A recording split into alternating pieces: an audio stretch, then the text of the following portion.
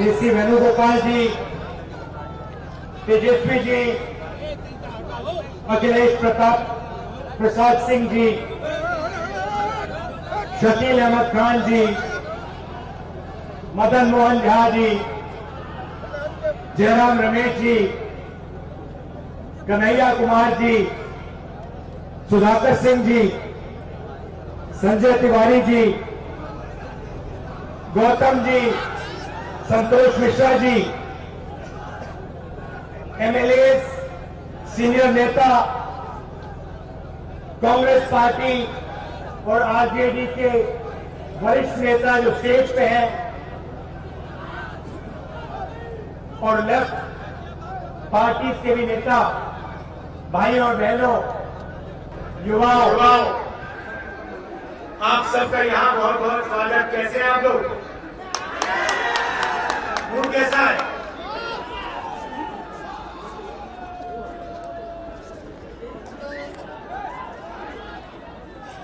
एक साल पहले हमने भारत जोड़ो यात्रा की। कन्याकुमारी से कश्मीर तक चले। चार हज़ार किलोमीटर चले। लाखों लोगों के साथ चले। क्यों? क्योंकि बीजेपी ने आरएसएस की विचारधारा ने हिंदुस्तान में नफरत और हिंसा फैला हम अपनी बात मीडिया में रखते हैं। मीडिया वाले हमारी बात को दिखाते नहीं मीडिया में आपको 24 घंटा नरेंद्र मोदी जी दिख जाएँगे ऐश्वर्या राय जी दिख जाएँगी साइड में अमिताभ बच्चन घूमते हुए दिख जाएँगे। शाहरुख खान, आजकल कभी कभी नीतीश कुमार जी भी दिख जाएँगे। मगर तेजस्वी जी और मैं नहीं दिखने वाले। क्यों? मीडिया हमारा ही नहीं है। मीडिया तो अदानी जी का है। मीडिया तो मोदी जी का है। बड़े बड़े अरबपतियों का है, किसानों का तो नहीं है। मजदूरों का नहीं है। छोटे दुकानदारों का नहीं है। हम उनकी बात रखते हैं तो मीडिया में हमारी जगह नहीं बनती। इसलिए हमने भारत जोड़ो यात्रा की। चार हज़ार किलोमीटर हम आपके साथ, हिंदुस्तान की जनता के साथ मिलकर चले। और यात्रा में से, हम दोनों की विचारधारा का एक नारा निकला किसी ने लिखा नहीं अपने आप भीड़ में से एक नारा निकला एक आदमी आता है दौड़ते हुए आता है। मुझे कहता है, राहुल जी, ये आप चार हज़ार किलोमीटर चल रहे हो। मैं जानता हूँ आप क्या कर रहे हो। मैंने कहा, बताओ क्या कर रहा हूँ? कहता है, आप नफरत के बाज़ार में मोहब्बत की दुकान खोल रहे हो। और यही हमारी विचारधारा है। आप तेजस्वी जी का चेहरा देखो, ठीक से देखो। ये आपको ये आपको हर टाइम मुस्कुराते हुए दिखेंगे। मुस्कुरा रहे लालू जी आपको मुस्कुराते हुए दिखेंगे। कांग्रेस पार्टी के हमारे नेता बने वो सब मुस्कुरा रहे हैं। और बीजेपी के नेताओं को चेहरा देखो, नरेंद्र मोदी को देखो, अमित शाह को देखो, राजनाथ सिंह को देखो तो चेहरा ऐसे होता है पता नहीं क्या हो गया इन लोगों को ये खुशी नहीं होते नफरत फैलाते हैं और 24 घंटा किसी न किसी के बारे में उल्टी सीधी बात करेंगे हम मोहब्बत की दुकान खोलते हैं और आप सब कांग्रेस के कार्यकर्ता आरजेडी के कार्यकर्ता 24 घंटा मोहब्बत की दुकान खोलिए लोगों को जोड़िए ये जो बीजेपी के लोग नफरत फैलाते हैं। इसके खिलाफ हम मिलकर एक साथ लड़ेंगे और जीतेंगे। ये देश नफरत का देश नहीं है। ये देश मोहब्बत का और भाईचारे का देश है। आपके खून में, आपके डीएनए में नफरत नहीं है। मोहब्बत और भाईचारा आदर है। यात्रा में यात्रा में हज़ारों लोगों से पूछा कि भाई, देश में ये जो नफरत का माहौल बन रहा है, इसका कारण क्या है? किसानों से पूछा, मजदूरों से छोटे छोटे बच्चों से पूछा, युवाओं से पूछा, और सबने कहा, राहुल जी, नफरत का कारण डर है और डर का कारण अन्याय है। ये देश के हर कोने कोने में आप किसी भी गरीब व्यक्ति से पूछ लो, हर रोज इस देश के हर कोने कोने में अन्याय होता है। आर्थिक अन्याय, सामाजिक अन्याय, किसानों के खिलाफ अन्याय युवाओं के खिलाफ अन्याय महिलाओं के खिलाफ अन्याय जहाँ भी आप देखो। अन्याय ही अन्याय देखेगा। ये देखो एक और अन्याय के बारे में बोला। आर्मी की भर्ती नहीं करवाया। भाई एक और बात। अब एक नई चीज़ निकली है अब अगर हिंदुस्तान का एक सैनिक, एक जवान शहीद होगा तो इसे शहीद का दर्जा दिया जाएगा। मगर अगर एक अग्निवीर, जिसके दिल में वही भावना है, जो जवान, दूसरे जवान के दिल में है, अगर वो शहीद होगा तो आर्मी और हिंदुस्तान की सरकार उसे शहीद का दर्जा नहीं देगी। दो तरीके के शहीद बना दिए इन लोगों ने। एक अग्निवीर वाला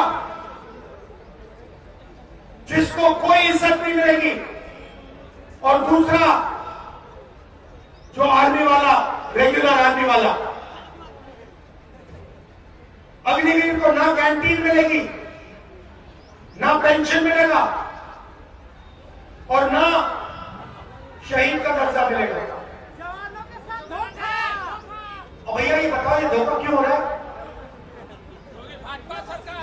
नहीं भाई, क्योंकि ये हिंदुस्तान की डिफेंस का बजट जो है, ये जवानों की ट्रेनिंग में नहीं डालना चाहते, ये जवानों की रक्षा में नहीं डालना चाहते, ये अदानी के लिए, हथियार खरीदने के लिए हिंदुस्तान के बजट का पूरा पैसा उसको देना चाहते हैं।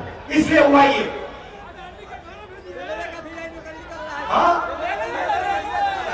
अच्छा ठीक है चलो अग्निवीर की बात छोड़ो रेलवे की बात करो रेलवे में अगर बिहार का युवा रोज़गार चाहता है आज उसको मिल सकता है कर लो जितने एग्ज़ाम करने हैं आपको ना सेना में भर्ती मिलेगी ना रेलवे में मिलेगी ना किसी पब्लिक सेक्टर यूनिट में मिलेगी क्यों क्योंकि दिल्ली की सरकार चाहती है कि आप सब लोग कॉन्ट्रैक्ट के मजदूर बनो। अग्निवीर जो है, उसको अग्निवीर नाम दिया है, मगर वो कॉन्ट्रैक्ट लेबर का आदमी है, सच्चाई है। उसे जब भी उनको निकालना हो, निकाल सकते हैं, बिना पूछे, बिना पेंशन, बिना मदद, बिना कुछ, उसको उठाए बाहर भेज सकते हैं। यही सारे के सारे पब्लिक सेक्टर यूनिट्स के साथ ये हो रहा है। अब मज़े की बात आपको बताता हूँ। हिंदुस्तान में पिछड़ों की आबादी कितनी है बताइए अच्छा एक बात बताओ यहाँ पे पिछड़े वर्ग के लोग हैं हाथ उठा के दिखाओ ये देखा पिछड़े वर्ग को होना आज की हिंदुस्तान में आबादी कितनी है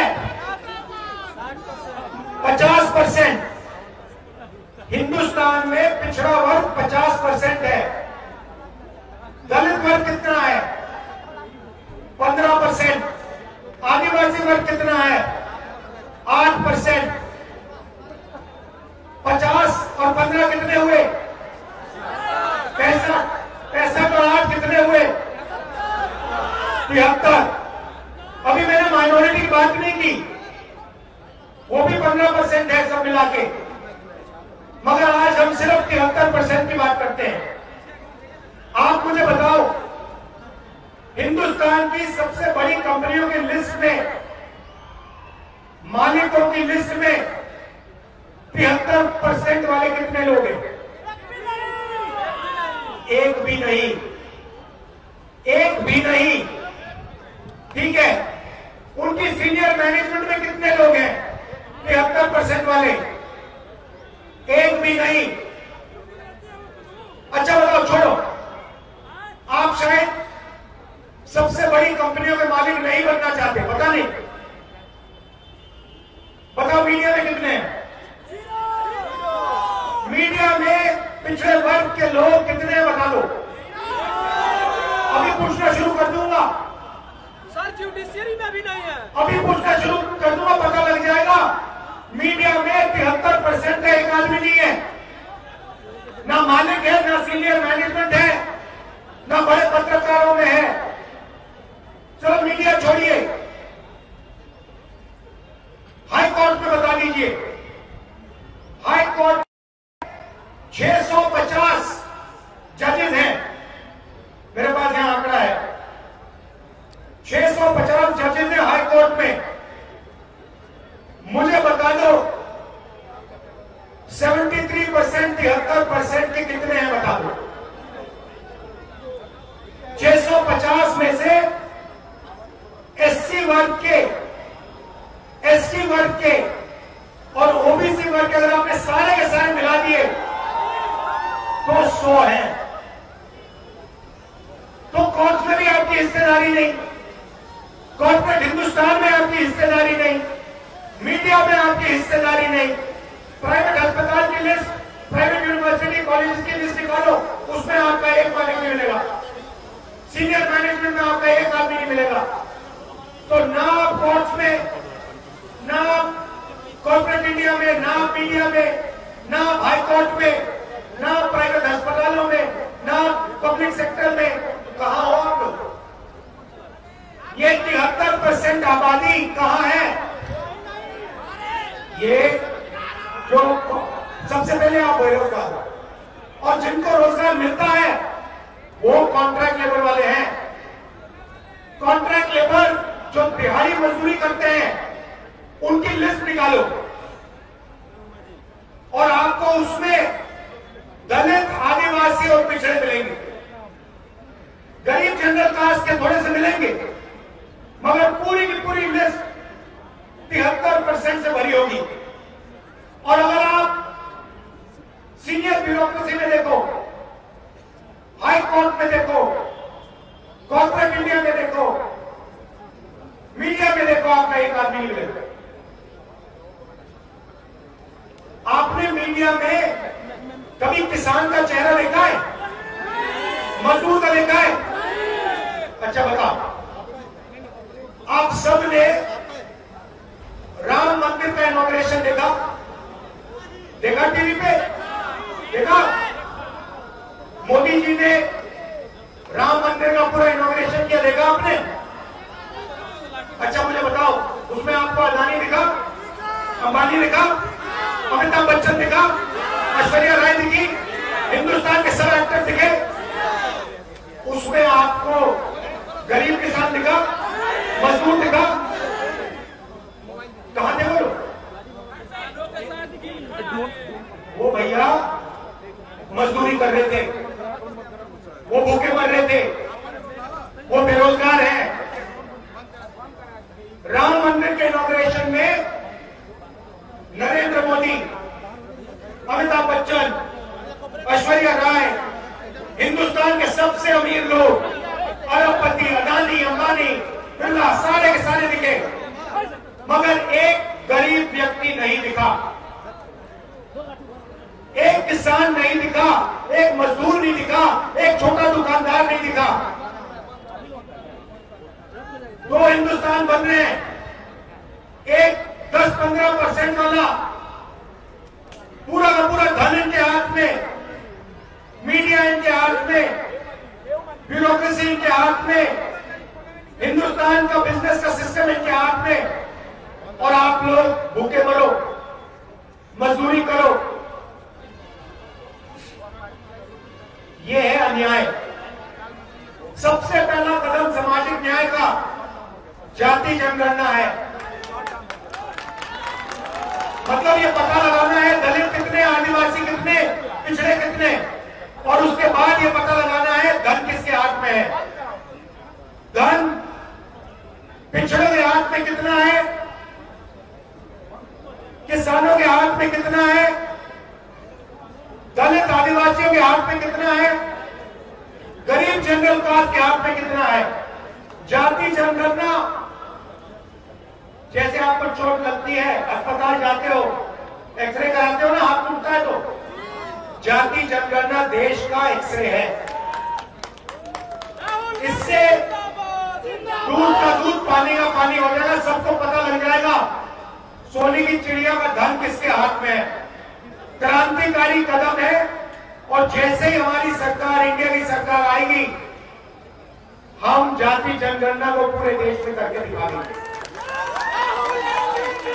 कुछ दिन पहले हमने किसानों के लिए एमएसपी की लीगल गारंटी दी है। हम कानूनी गारंटी देंगे कि हिंदुस्तान के किसानों को सही एमएसपी दी जाए। ऐतिहासिक क्रांतिकारी कदम है।